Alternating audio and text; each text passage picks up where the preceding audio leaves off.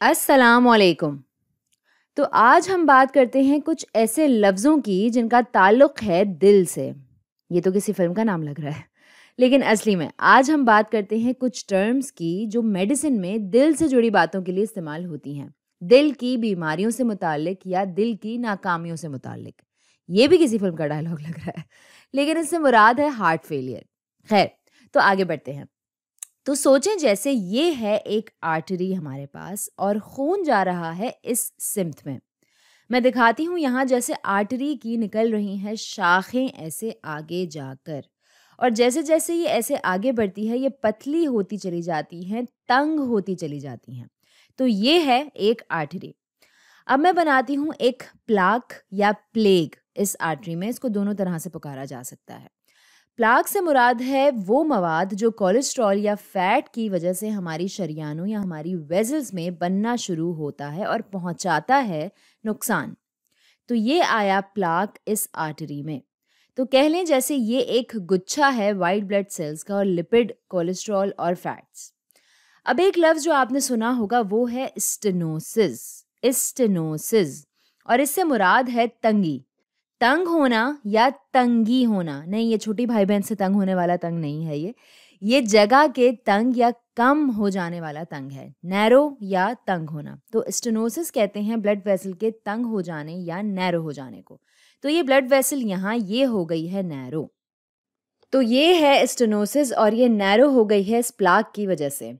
ये लफ्ज़ किसी भी ट्यूब्यूलर स्ट्रक्चर के नैरो या तंग हो जाने के लिए इस्तेमाल हो सकता है, लेकिन आमतौर पर यह ब्लड वेसल के लिए ही इस्तेमाल होता है तो स्टेनोसिस का तंग होना या नैरो होना स्टेनोसिस की वजह से तंग होना या नैरो होना। तो अब जब एक दफ़ा ब्लड वेसल हो गई है नैरो तो ये रोकेगी खून के बहाव को।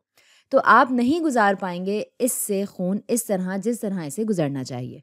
तो खून का बहाव थोड़ा सा रुकेगा। अब ये जो खून के बहाव में खलल आप देख रहे हैं जिसकी वजह से कोई भी नुकसान हो सकता है, किसी भी अहम काम में खलल आ सकता है। तो ये रुकावट या ये खलल खून के बहाव में इसे कहते हैं स्कीमिया स्कीमिया। तो अब अगर आपकी वेसल्स में से एक में है स्टेनोसिस और ये रोक रहा है आपके खून के बहाव को और ये करता है स्कीमिया तो मसल्स, मैं पहले यहाँ मसल बना लूँ समझने के लिए।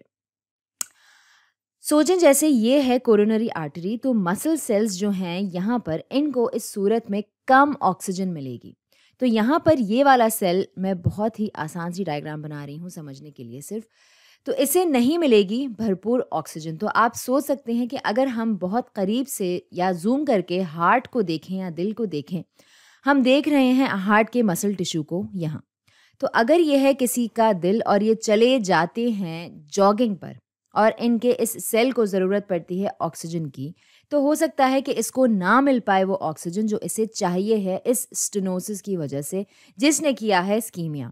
और इस वजह से यहाँ नहीं है इतनी ऑक्सीजन और इसीलिए ये दिल की मदद नहीं कर पाएगा धड़कने के लिए या पंप करने के लिए।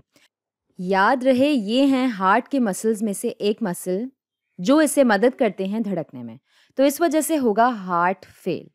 अब ये जो लफ्ज़ है, ये बहुत ही ड्रामाई लगता है। हार्ट का फेल हो जाना ये नहीं होता कि ये एकदम से चलते चलते बंद हो गया। इसका मतलब होता है कि जो ये काम करता है, इसमें आहिस्ता आहिस्ता कमी आना शुरू होती है और इसका फ़ंक्शन आहिस्ता आहिस्ता फेल या नाकाम हो रहा है।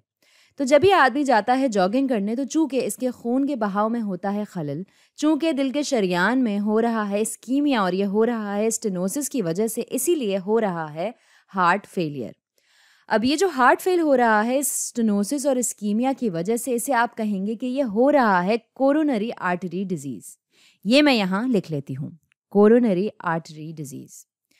यहाँ ये जो सब हो रहा है, खून के बहाव का रुकना, ये स्कीमिया इस वेजल में, इसका ऐसे तंग होना, ये है कोरोनरी आर्टरी डिज़ीज़, जिसकी वजह से यहाँ मसल को ऑक्सीजन नहीं मिल रही और ये पंप नहीं कर रहा दिल को सही तरीके से। ये सब चीज़ें मिलकर करवाती हैं हार्ट फेलियर अब आपने एक और लफ्ज़ सुना होगा जो है कोरोनरी हार्ट डिज़ीज़ या फिर खाली हार्ट डिज़ीज़ ये तीनों चीज़ें एक ही हैं. ये सब की सब इशारा देती हैं किसी ना किसी किस्म की तंगी या स्टेनोसिस का. आर्टरीज में जो ले जाती हैं स्कीमिया की तरफ़ और होता है, खून का बहाव, असरअंदाज और होता है हार्ट फेल अब एक और चीज़ जिसके बारे में मैं बात करना चाहती हूँ, वो है इन्फार्क्ट या इन्फाक्शन ये मैं यहाँ लिख लेती हूँ. तो यही वाला सेल मिसाल के तौर पर, इसको नहीं मिलती भरपूर ऑक्सीजन, खास तौर पर तब जब ये इंसान कर रहा हो कोई कसरत वाला काम।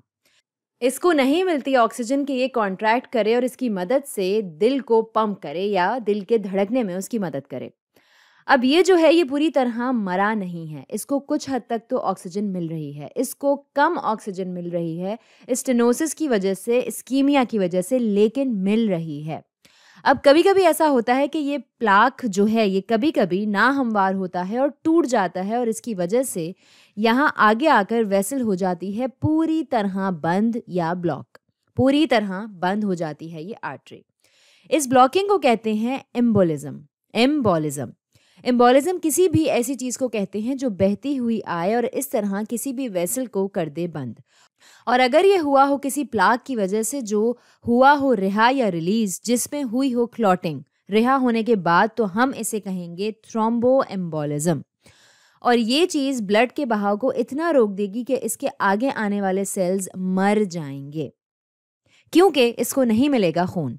तो इसे नहीं मिलेगी ऑक्सीजन भी। और जब आपके पास होता है मरा हुआ टिश्यू और वो भी ऑक्सीजन की कमी की वजह से, इसे कहते हैं इन्फार्क्ट। इनफार्क्ट। मरा हुआ टिश्यू ऑक्सीजन की कमी की वजह से। और इस मरहले को कहते हैं इन्फार्क्शन। इन्फार्क्शन। इन्फार्क्ट होता है और इन्फार्क्ट से ही लफ्ज़ है इन्फार्क्शन। अब ये सब कुछ हो रहा हो अगर मायोकार्डियम में, जो कि दिल का मसल होता है अब जैसे ये है मसल टिश्यू दिल का, और ये मर रहा है ऑक्सीजन की कमी की वजह से, इसे कहेंगे हार्ट अटैक ये होगा मायोकार्डियल इन्फार्क्शन इन्फार्क्शन यानी मायोकार्डियम का। तो ये होगा मायोकार्डियल इन्फार्क्शन तो उम्मीद है कि इस वीडियो से आपको बहुत से सवालों के जवाब हासिल हो गए होंगे। तो आज के लिए इतना ही।